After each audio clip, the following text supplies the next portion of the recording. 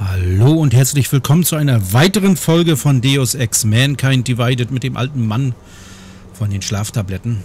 Und ja, wir sind hier in der Befragung stehen geblieben. Wie ging der Angriff vor sich? Was hat der Mörder getan? Was haben Sie hier gemacht? Wir fragen erstmal Wie danach. ging der Angriff vor sich? Was hat der Mörder getan? Er war über ihr und hat ihr das Böse rausgeschnitten. Zumindest hat er es so genannt, glaube ich. Sie haben seine Stimme gehört? Laut und deutlich. Er klang selbstbewusst, autoritär, wie ein General, der Truppen befehligt. Was genau hat er gesagt? Es ist Zeit, dich wieder gesund zu machen.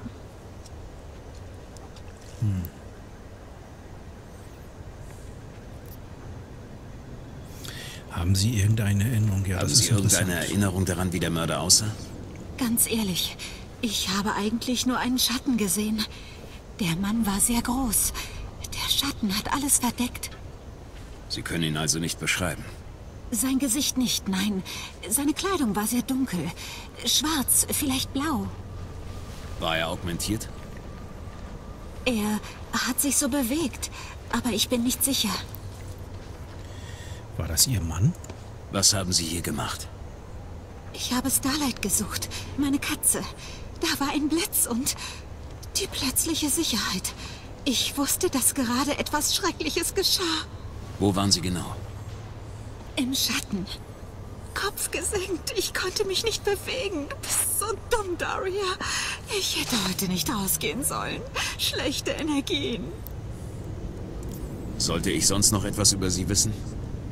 Sie wollen mehr über Daria wissen. Was gibt's da zu sagen? Kleinstadtmädchen will in Großstadt ihren Problemen entfliehen. Jemand anderes werden. Hat's geklappt? Nicht wirklich. Man kann nicht vor sich selbst fliehen. In der Großstadt werden deine Probleme nicht kleiner. So funktioniert das nicht. Ja, das stimmt. Warum trauen Sie der Polizei die Aufklärung des Falls nicht zu? Ich habe schlechte Erfahrungen gemacht. Was für Erfahrung? Pfiffe, die ich nicht wollte. Unberechtigte Strafzettel. Die Polizisten hier sind schlimmer als Kinder. Ihr Lebenshöhepunkt war Teamkapitän ihrer Schulmannschaft zu sein. Ich war Kapitän des Debattierclubs auf der Highschool. Naja, das ist was anderes. Was halten Sie von Montag? Haben Sie ihn schon mal getroffen? Ja, am Ich war Dienstag. vor Jahren mal auf dem Revier, um mich über einen Strafzettel zu beschweren. Detective Montag ist für den Papierkram zuständig. Wie hat er sich angestellt? Ganz okay, aber er ist ein Schreibtischhengst. Sehen Sie, wie verloren er wirkt? Die Bullen, die einen Mörder fangen können, die werden bei ermordeten Optis nicht eingesetzt. Okay. Ich tue, was ich kann, um bei den Ermittlungen zu helfen. Viel Glück. Es hat gespeichert. Wo ist denn das letzte Teil hier? Hier. Eine herausgerissene Augmentierung. Wer immer das getan hat, wollte sie wohl nicht für sich. Er wollte sie nur aus dem Körper entfernen. So, die haben wir denn alle. Jetzt müssen wir da hinten hin. Das ist ein Witz, oder? Was denn? Ich bin da durchgegangen. Ich darf das. Meine Haut juckt.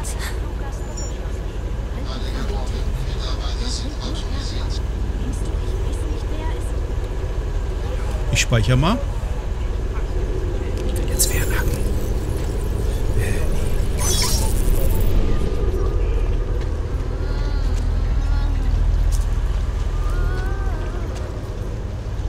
Wer singt da? So. Ich. Ich muss Bahn fahren. Nehme ich mal an. Können wir jetzt hier auch Fernhaken machen? Nee, Tastenfeld benutzen.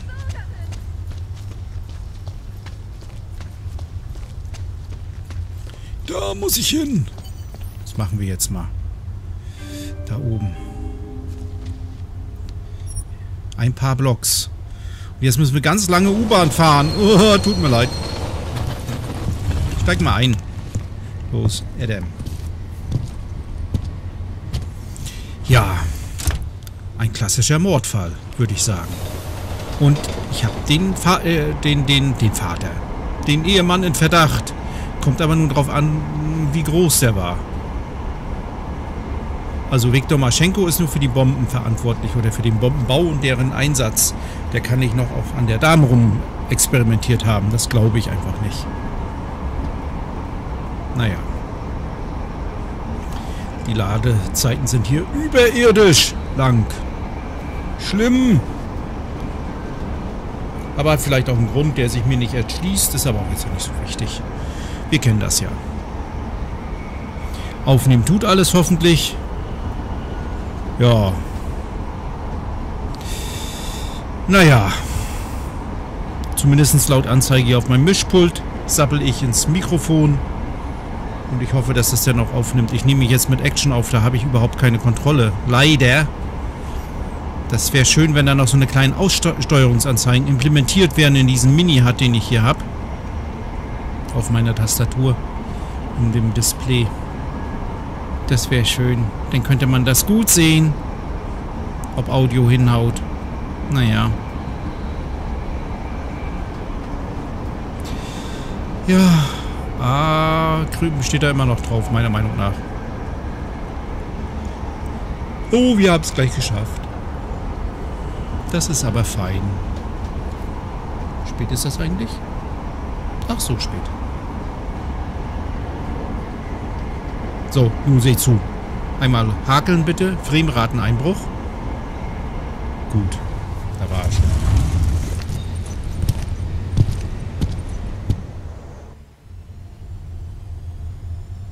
So, warten, bis alles reintröpfelt. Gut. Ja, im Moment verwöhnt mich das Spiel hier. Zeigt 100 Frames an. Das ist doch schön. Ah, blöde Kuh. Hoffentlich sind Ihre Papiere in Ordnung. Blöder Kerl. Natürlich, Officer. Moment. Oh. Übertrage ID-Scan. Okay. Alles in Ordnung. Sie können gehen. Irgendwann. Irgendwann! Das ist Schikane! Das müssen wir Ich sehe nicht mehr so gut. Nee? Ich will mich einfach nur betrinken, eine Runde ficken und diese schrecklichen Bilder der Musiker-Explosion aus dem Kopf kriegen. Pfui. Seid ihr für Leute? Da oben wohnt er. Mal gucken, muss ich noch eine Etage höher? Hier, hier waren wir doch schon drin. Hier habe ich schon geknackt, ge ge gehackt. Hey, wo willst du hin? Johnny Gunn. Ich will ein bisschen looten. Mal schauen, ob du was Sinnvolles, Gutes noch hast. Hey, wo willst du hin? Wie das zum Beispiel. Soll ich Musik machen?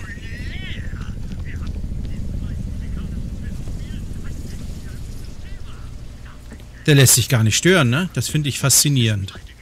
Ich kann hier drin rumrennen. Hey, Arschloch, Ich- da kannst du nicht rein. Von wegen jetzt, jetzt habe ich es gesammelt. Haha, ich habe es bei der Aufnahme, äh, beim Nachverton heute gesehen, dass hier noch Neuroprozin lag. Jetzt habe ich's. Hahaha. Der ist aber nicht augmentiert. Doch, an den Arm. Hast du was zu trinken dabei? Wenn du einen Mann so überfällst, solltest du wenigstens was mitbringen. Bist du Johnny Gunn?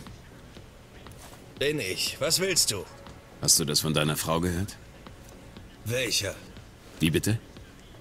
Ich war öfter verheiratet. Von welcher Frau reden wir?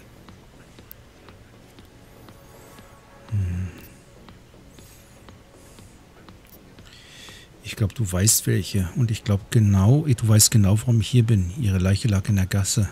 Konfrontieren? Von der Toten. Von der die irgendein Tier in Stücke gerissen hat. Sie hat einen Namen, weißt du? Angie für ihre Freunde, Angela für dich. Du hast es also schon gewusst? Dein Freund, der Detective, hat angerufen. Ich soll hier bleiben und auf dich warten. Also habe ich gewartet. Kooperation. Angela schon tot. Sie war deine Frau, oder? Ich Angelas mach Tod erstmal scheint dich das. nicht sehr mitzunehmen. Sie war doch deine Frau, oder? Ex-Frau. Wir waren geschieden. Soll das erklären, warum du dich so gleichgültig verhältst? Menschen sterben.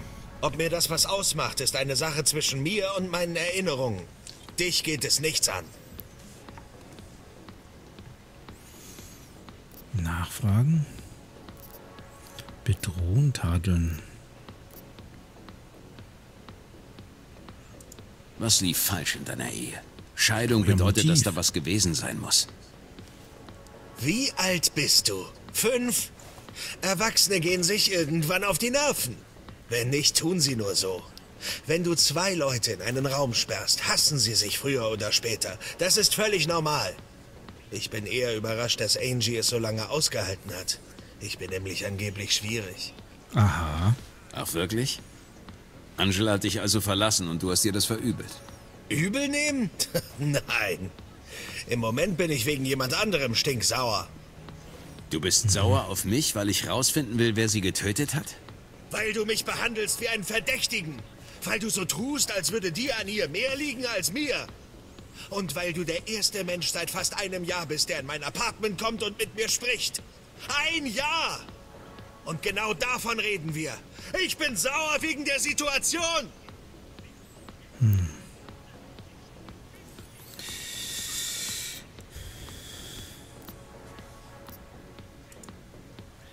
Ist das ein Belltower-Abzeichen auf deiner Jacke?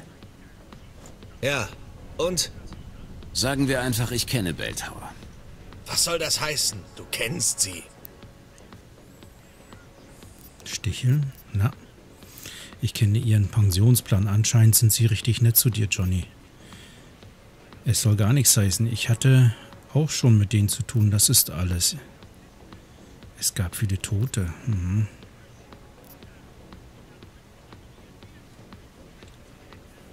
Oh. Ich muss ihn irgendwie auf meine Seite kriegen, damit er mir vertraut und vielleicht sich verplappert. Ich stichel mal. Ich kenne ihren Pensionsplan. Anscheinend sind sie richtig nett zu dir, Johnny. Leck mich!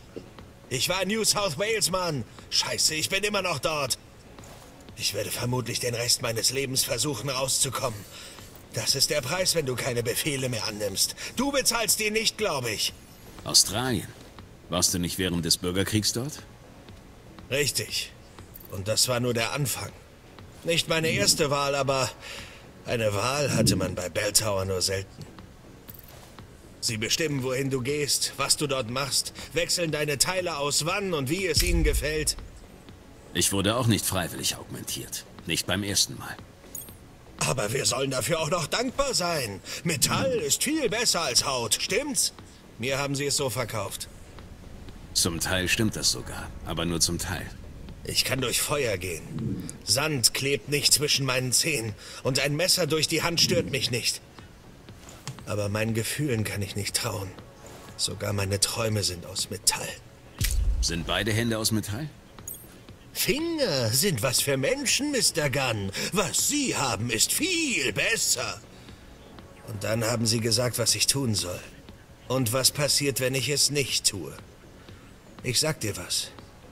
Das bin ich nicht mehr. Schon sehr lange nicht. An Angelas Hals wurde ein Teilfingerabdruck von der Person gefunden, die sie erwürgt hat. Meine Hände haben in Kriegen getötet, von denen man noch nie gehört hat. Ich hinterlasse keine Spuren, selbst wenn ich es wollte. Damit kannst du besser töten. Ich werde also nie erwischt. Ironisch, was? Ein guter Killer zu sein, rettet mich hier vermutlich. Oder denkst du immer noch, ich habe Angela getötet? Tut mir leid, was Belltower dir angezogen. Ich wollte dich nicht weder verhaften noch freisprechen, nur befragen. Auch wenn du kein. heißt das nicht, dass du unschuldig bist. Ich werde ihn mal. Ich muss ihn beruhigen. Er ist ja angespannt. Es tut mir leid, was Belltower dir angetan hat. Muss es nicht. Sie haben mir Werkzeuge gegeben, weil sie es wollten. Es war in Ihrem Interesse, dass ich sie habe. Aber die Entscheidung, sie zu benutzen, war allein meine. Und jetzt wäre ich gern allein. Scheiße. Optional zwingenden Beweis finden.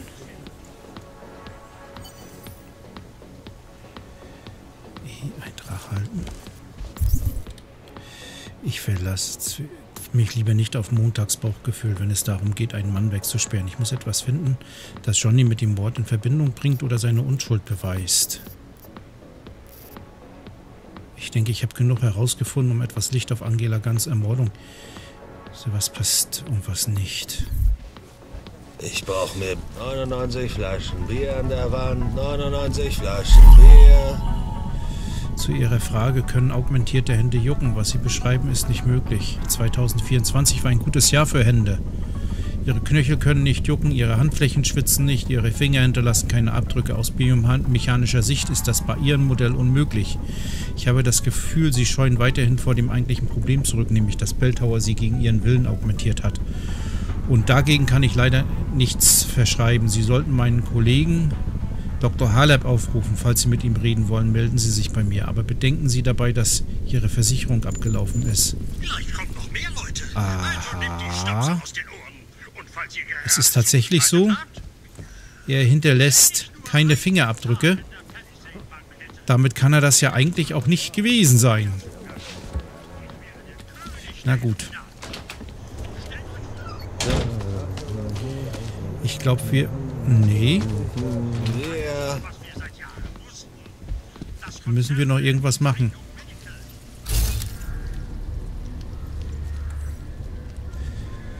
Hier ist aber nur Suff.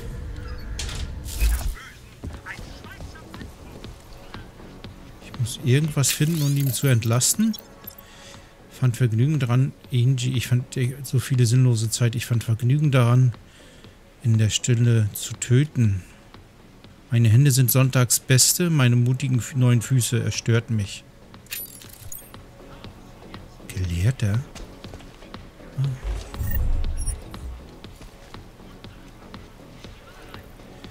Die ist nur werfbar.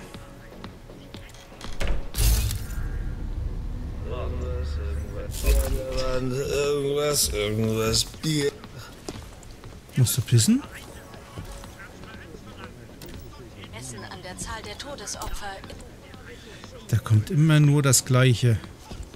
Ich soll hier noch irgendwas machen. Oder soll ich hier bloß rausgehen? Lass ich mich wieder in die Irre leiten, weil hier unten der Ausgang ist. Ach ja, ich lasse mich wieder in die Irre leiten. Aber egal, wir haben ja noch ein bisschen was gefunden, was interessant ist. So, dann nichts wie raus. Und schon wieder U-Bahn fahren? Oder? Ja. Ich muss schon wieder U-Bahn fahren. Du da, du da. Hallo.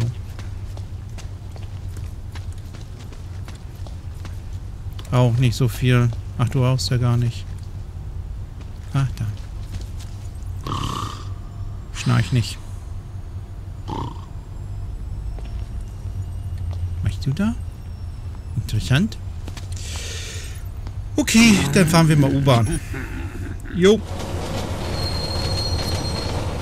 Aber keine Angst, ihr müsst, müsst euch das jetzt nicht anschauen. Ich melde mich wieder, wenn ich beim Detektiv bin und das wird in der nächsten Folge sein. Ich danke fürs Zuschauen und tschüss.